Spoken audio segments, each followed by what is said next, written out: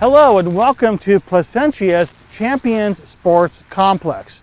This video is designed to help you, the coaches and the managers, to better do field prep for the three baseball fields here on the sports complex.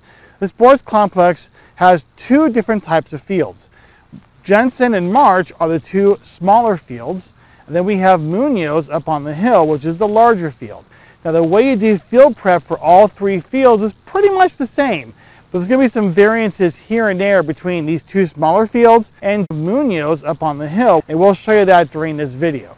Now I know what you're thinking. You're thinking to yourself, I've been doing field prep on these fields for many years. I know what I'm doing. You're probably right. You probably do know what you're doing. But the reason for this video is to make sure that we're all doing the same thing at the same time in the exact same way. I may show you something that's a little bit different that you haven't done before. I may show you a technique that you haven't thought of before, but let's make sure we watch this video in full and that we all adopt these new rules and principles for getting these fields done. All right, so let's get started. We're going to go over the basic steps first, and then we'll go into detail on how each step is performed. Now, first I want to apologize if my voice is uh, staticky or crackly. You know, this field has a big cell tower, and that cell tower is just flooding the area with interference. So we're doing our best on the audio. So please accept my apologies if my voice is crackling or you hear static in the line. But anyways, to do the field prep for March and for Jensen is pretty much identical.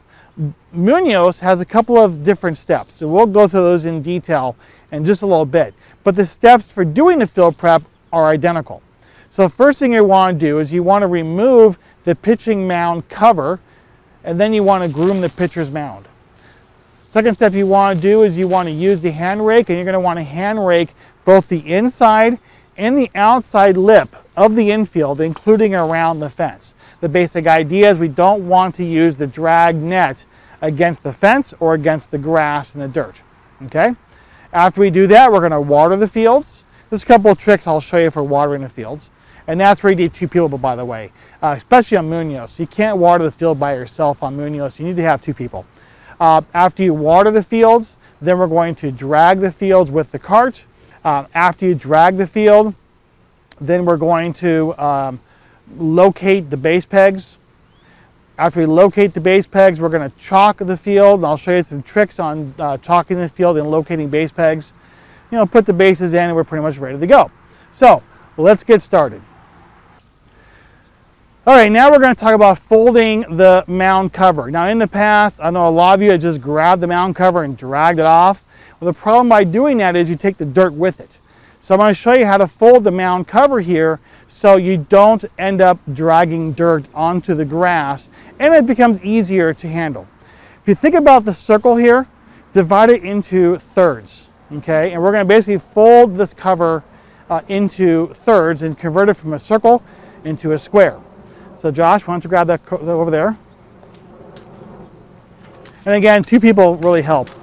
So you're gonna bring this in right about there.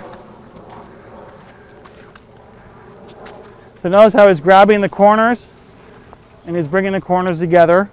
Now do the same thing from the back and the front. He's going to grab the corner, bring it forward. Then he'll grab the back here and he'll bring it forward again.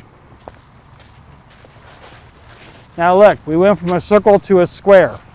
Now at this point, we could just fold it just like anything else, like a beach towel or whatever. So just kind of fold it one more time, Josh. Okay. Make sure you grab the bottom.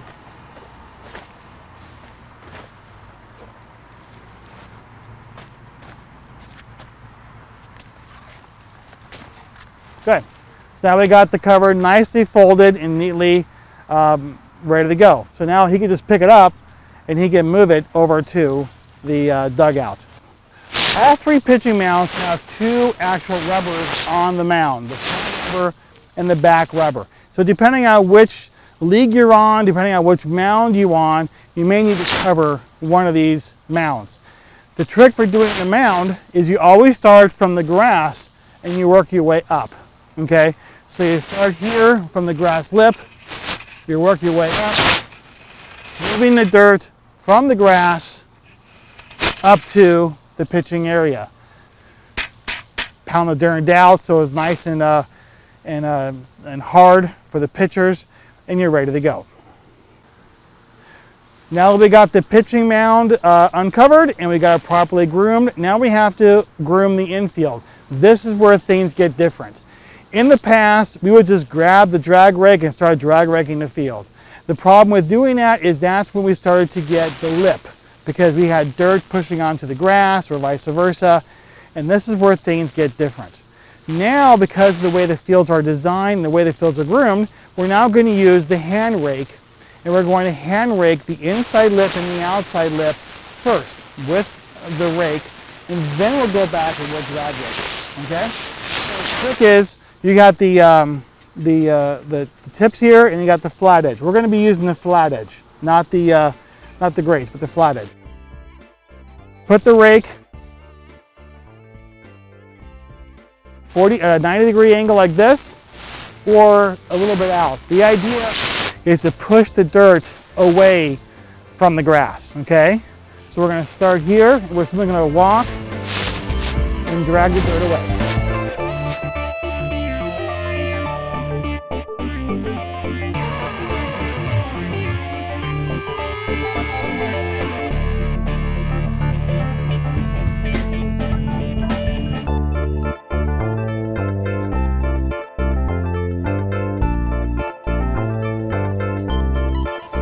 So now we got the uh, infield all dragged. We'll do the same thing for the outside line as well, including around the fence. Now, the reason why we're doing it around the fence is that we don't want to have these nasty little edges of the fence snagging our drag net. That's what's been killing our drag nets, are these little edges of the fence here.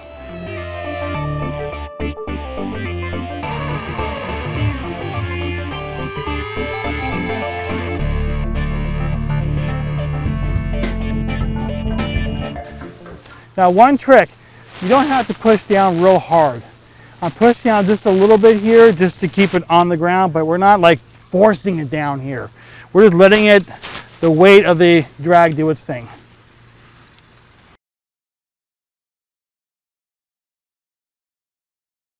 For Munoz, raking the field has something a little bit different, and that is with the first base and third base lines, you can't use the cart with the drag net. Instead, you're going to use the hand rake and just like with the infield, you're going to just rake it at a uh, 90 to 100 degree and just kind of rake on both sides and get the infield done that way. So let me show you what I'm talking about.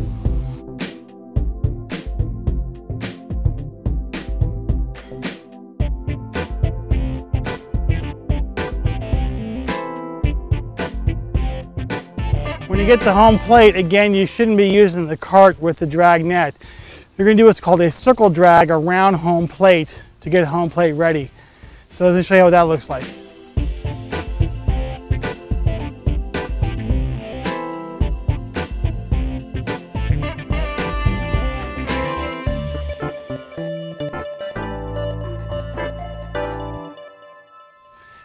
And that's it, the difference from Munoz.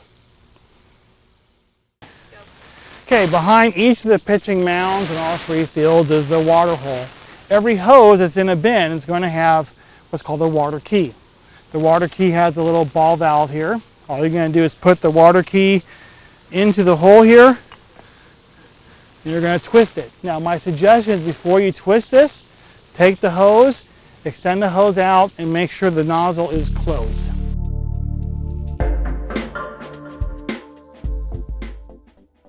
The nice thing about these nozzles is these nozzles give you different water patterns. If you twist it, you can have a big wide, twist it more, and you got a uh, more of a straight one. When you're watering, the trick is to a very light, dusty water. You don't want puddles. You don't want to create any lakes. You just want to create a nice water stream.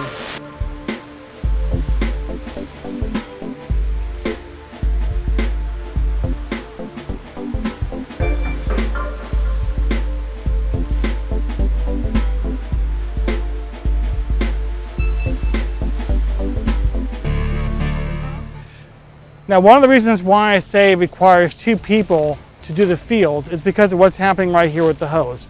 If you go ahead and look at the pitching mound, you'll see that the hose is dragging over the pitching mound right now. That's where a second person comes in handy.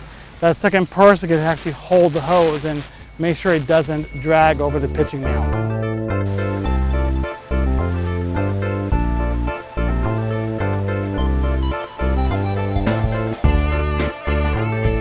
For Munoz, watering the field does take two people. That's because the hose can't squirt all the way from the grass to the outside grass. You're gonna have one person manning the nozzle and another person kind of uh, monitoring the hose, making sure the hose doesn't drag on the dirt. Let me show you what I'm talking about.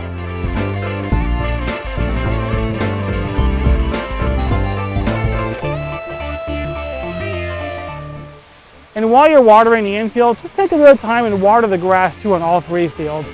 This poor grass gets beaten to death, so take the few minutes just to give this grass a good soaking. Uh, not too much soaking, just a little bit of water, make it look nice and fresh. When you're done watering the fields, do not close the tip. Because if you close the tip and you try to unplug the key, you're gonna squirt right in the face. When you're done watering, you're, you're gonna wind up the hose. Let me give you a little tip about winding up the hose. Start with the key. Put the key on the ground and then wrap the hose in a circle around the key.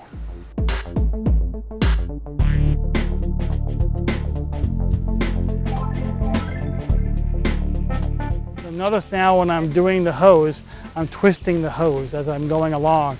Make sure the hose doesn't kink.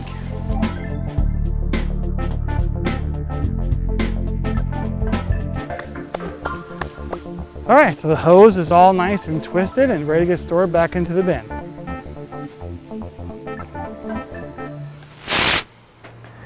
All right, now that we got the uh, field hand raked, both on the outside lip against the fence, the, the against the uh, grass here, we got the infield all hand raked.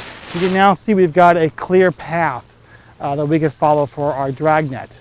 So there's two types of drag nets that you could do. You could do a straight dragnet or you could do a circle rake a circle rake does take longer to do. So if you're in between games, I would say do a regular drag rake.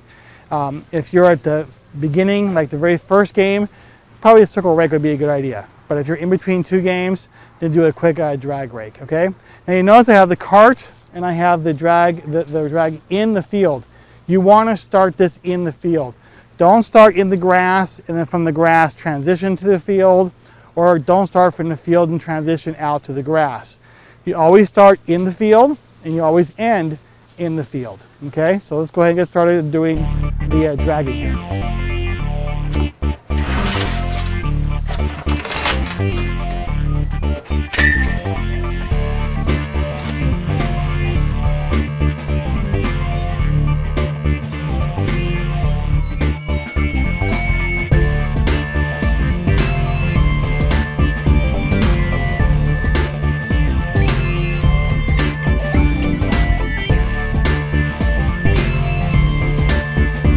So you'll notice that when I got to the outside edge here and also the inside edge, that I took my time and deliberately slowed down.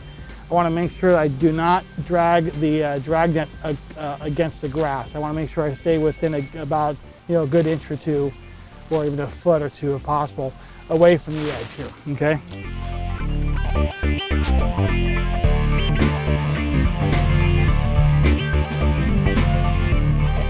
Get to the field early in the morning and the field is all um, wet and mildewy and all that kind of stuff from the uh, sprinklers or whatever, then drag first and then water. If it's in the middle of the day when the field's all dry and it's hot, then water first and then drag. So it really depends on the condition of the field. Again, if the field is already wet, then go ahead and drag first and then water. If the field is super dry, there's been some games on it already, then go ahead and water first and then drag.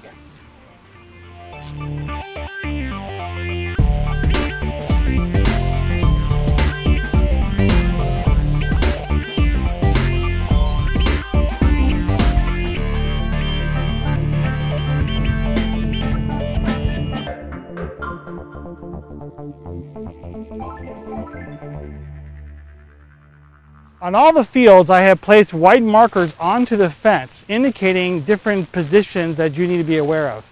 The white marker that's over here on this fence is a marker for the third base line. We also have one for the first base line as well. And we also have markers that indicate where first base is and where third base is. So right now I'm going to show you a trick on how to make your third base and your first base foul lines. First thing you need to see is we have on every field one of these chalk lines. Each of these machines have a little button. When you push the button, that releases the chalk line. So now let's go ahead and use this chalk line to mark the third base foul line. All right, so first things first, we'll take the hook that's on here, we're gonna place it on that white marker, and then we're gonna walk all the way down.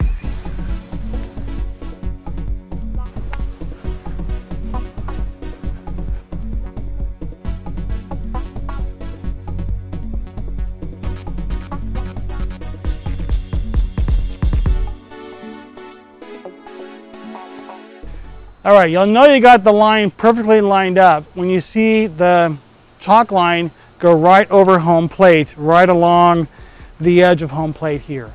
That's when you know your chalk line is perfectly lined up with the foul pole. Every field here has these base frames. This is for the batter's boxes. You'll notice that one end is long and one end is short. The short end goes to the pitching mound, the long end goes to the backstop. This piece right here, this goes along the side of home plate. So we're gonna put these down right now so we know where our chalk line is going to be.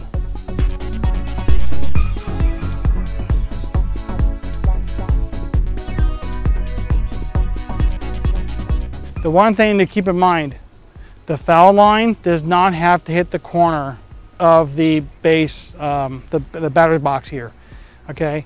If you ever watch Major League games or whatever, you'll notice that the line does not hit the corner. So you'll notice if it doesn't hit the corner, that's fine. It's not supposed to. Now we're gonna walk this and get our line. Now that we got our line, let's go ahead and chalk.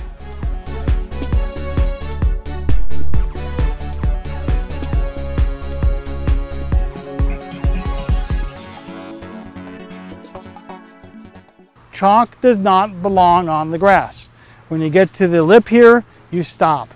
Do not run chalk into the grass all the way to the foul pole, okay? We'll do our best to paint these lines as often as we can. But if there's no line, then please do not use chalk on the grass because that will kill the grass.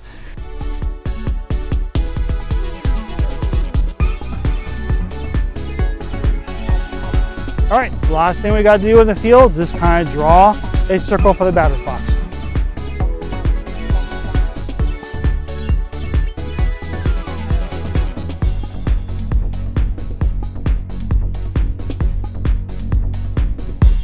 And that's basically it for the chalking of the field. All fields have also been marked with a fence with white paint indicating where first base and third base pegs are. So if you look and you can't find a peg, simply look towards the fence, look for the white marking on the fence, and that'll help you give an indication of where the peg is. You could also use your chalk line for that as well. In fact, if you put the chalk line on the fence, go over the first or third base peg, you'll actually find second base. Every base peg should have a base cap on top of the base peg. Do not remove this black base uh, top. Keep the base, keep this on top of the base pegs to prevent dirt from getting inside the base pegs. Now that we've uncovered the base pegs, so they put the bases onto the base pegs and you're ready to go. All right, and there you go. That's how you do the proper field prep here for Placentia's Champions Fields. Hope you found this video helpful. If you have any questions, feel free to contact the city and they'll be able to answer any questions you have. If you're with Placentia Pony, feel free to reach out to the field manager and ask him any questions as well. Thank you for your time.